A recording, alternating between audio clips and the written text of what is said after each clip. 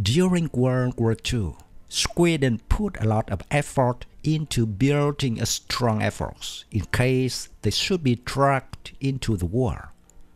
The Saab J-21 is a Swedish single-seat low-wing monoplane fighter and attack aircraft designed and manufactured by Saab. It used a relatively unorthodox twin-boom fuselage with a pusher engine giving the aircraft an unusual appearance. Its forward-running propeller, sleek design, sturdy build, and versatility made it a pioneer in both engineering and performance. One of the remarkable things about the Saab J-21 was its ability to soar at high speeds thanks to its angled wings and body.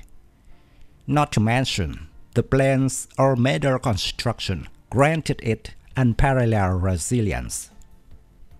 It could withstand severe damage and still maintain operational.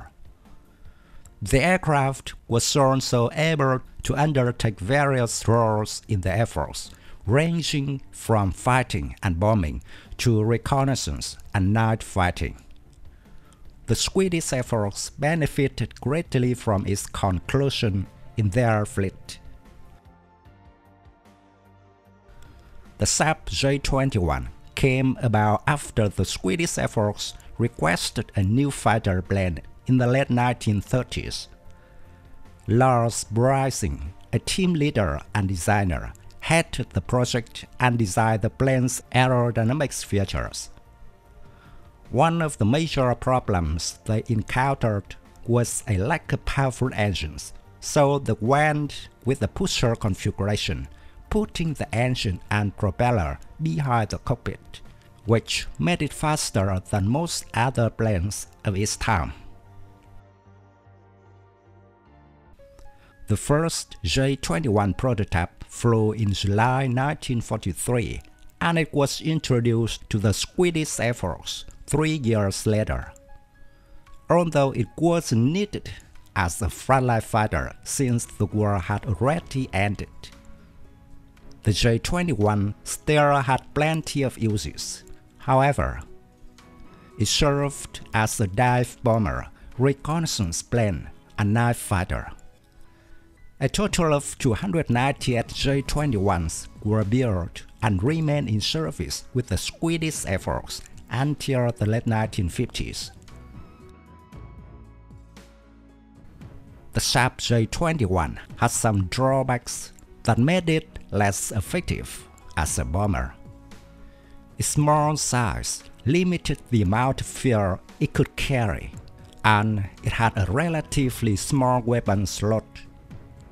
A pusher configuration of the J-21 placed the engine and propeller behind the cockpit, which made it challenging for pilots to see during takeoff and landing. Initially, the J-21 was designed to be equipped with four 13.2mm machine guns, but these were later replaced by two 20mm cannons. However, some critics found the armament to be insufficient compared to other contemporary fighters like the Messerschmitt Bf-109. The J-21's construction had some weaknesses, such as a landing gear that was prone to collapsing, which detracted from its overall effectiveness. Despite these limitations, the Saab J-21 played a pivotal role in protecting Sweden during the early Cold War.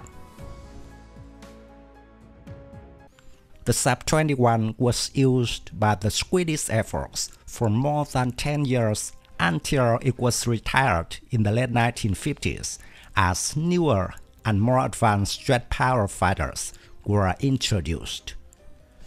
Many J-21s were either sold for scrap or dismantled after this. However, a few were preserved and now be seen in museums and private collections worldwide.